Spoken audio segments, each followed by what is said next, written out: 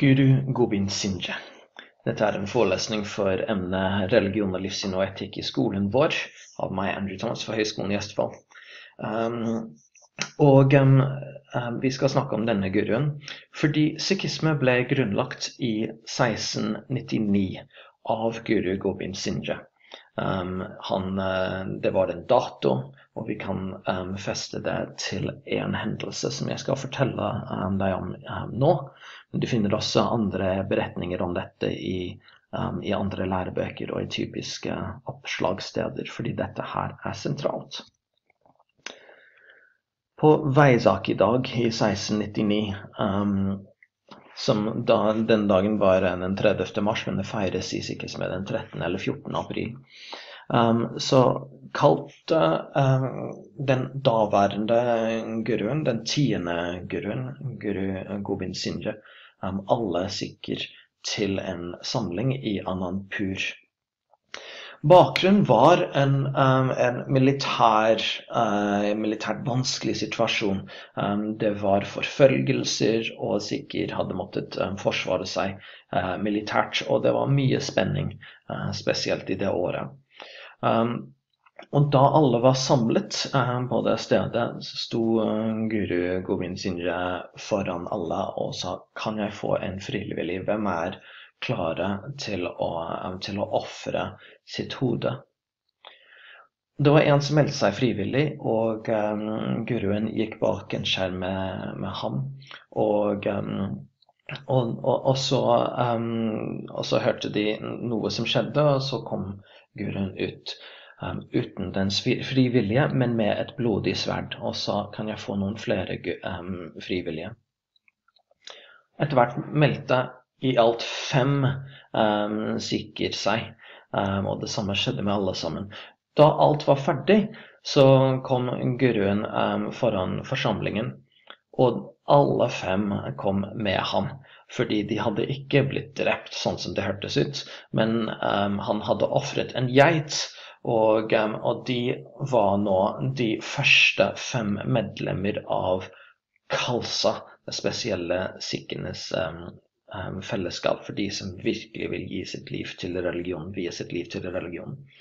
Um, og de gikk gjennom um, Amrit Sanskar-seremonien, som innebærer um, og, um, og, drysses med vann, sukkervann, som har blitt rørt om uh, med et sverd um, å, fremføre eller lese opp fra, um, fra noen av de um, diktene. Og at de skal alle sammen bære de fem k-ene som, som, er berømt til sikkerhetsmed. Dvs. Si uklippet hår, en kam, en armbånd, spesielle bukser og et lite sverd. Um, og fra den tida så hadde Kalsan blitt innviet, og det er en av de viktigste um, um, og farligste og mest kontroversielle av uh, sikhismens kjennetegn. Så vi kan godt si at før Kalsa blir til, så er det ikke noe sikhisme slik vi kjenner, det, uh, kjenner til det i dag.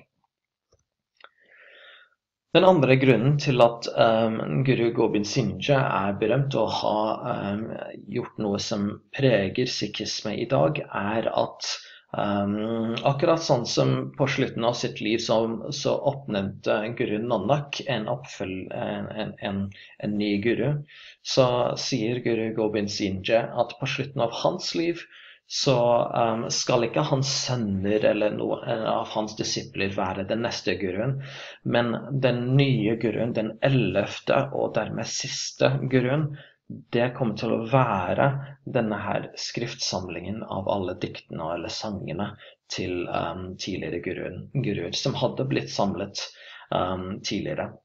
Og han sier at den guru-status og den guru-innsikt som han har båret på som den tiende guru, den kommer nå til å bli båret av den ellevte guruen i bokform.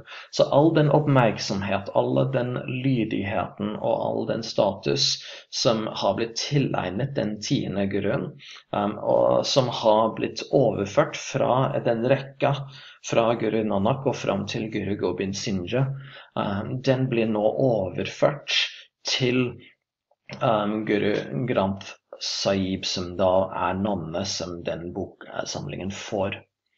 Um, fra nå av så er guru-statusen og guru-autoriteten båret dermed av disse to. Um, den um, Guru Grand Saib, den store boka, og Khalsa-selskapet, eller de som samles i en gudvara. De som leser Guru Granth Sahib sammen. Så det er en todelt arv. Og, det er de som bærer guru-autoriteten fra fra nå av. Så det er de to store bidragene til sikhisme som vi ser at Guru eh, Gobind Sinja um, har gjort. Og vi ser det fortsatt i dag. Dette her er bildet av flagget som pleier å fly uh, over uh, gudvarer um, over hele verden. Og sverdet har flere symboler som, som minnes om livet til um, Guru Gobind Sinja. Um, for det første det tveeggede sverdet som han brukte, og som brukes fortsatt, til å røre om på sukkervannet som brukes i Amrit, Sanskar når noen innvies i um, Kalsa-fellesskapet. Og um, for det andre så ser vi her um, kara. Dette, dette, her er et symbol på armbåndet. Eller symbolet kan bli veldig mye forskjellig, sånn som vi vet. Um, men det kan symbolisere kara, som er et av de fem tegnene til en som er i Kalsa. Og så um, disse to sverdene her som skal symbolisere det som i sikhisme kalles for miri-piri. Det som vil si både den spirituelle og den verdslige autoriteten. Og, um, og, den, og som på en måte markerer sikhisme som både en sekulær og en åndelig, eller en, uh, i første omgang en militær og en åndelig bevegelse. Så den der miri-piri-prinsippet, at man skal både være realistisk og man skal være idealistisk, tolkes på forskjellige måter, men bæres med sikhisme også i dag, som finner sitt første uttrykk i livet til guru Gobind Sinja. Mange som sier at sikhisme er lik de fem kåene, men det gjelder bare Kalsa. Det er mange sikher som, som, ikke er i uh, Kalsma, og, og det er akseptabelt. Eh, det er en pågående samtale om hvem som egentlig er en sann sikh. Viktigst er kanskje denne her kirpan, det lille sverdet, um, som gir gjenklang fra Miri-Piri, de to sverdene. Um, men det er viktig å huske, og det er veldig mye trekk ved sikhisme som, som går ut fra dette om at det fins bare én guru den dagen i dag. Og den guruen er guru Granth Saib. Um, og han ble definert um, av guru Gobind Sinja. Um, så det er boka definert av den tiende, den siste menneskelige guru. Og det er derfor det går an å si at sikhisme er grunnlagt av guru Gobind Sinja.